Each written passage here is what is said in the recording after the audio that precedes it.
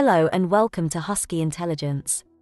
This video will show you how to add a new sales lead. Once added, we will discuss how this can be saved and converted to an estimate. Okay, let's get started.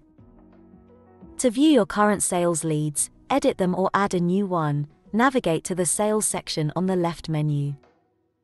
This will bring up a list view of your sales leads.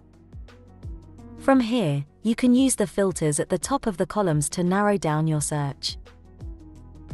You may want to do this by customer or project status for example. To show you, I will run a search for active projects specifically for SANS window solutions.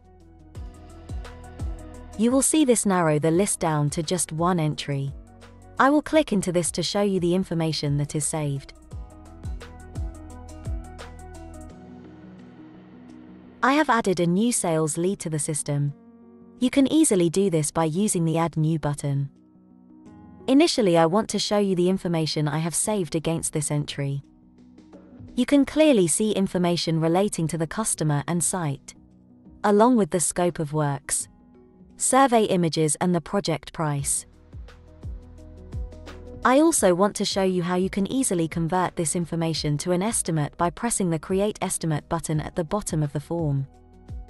You can see how the information is easily pulled through to the estimate form which can then be saved.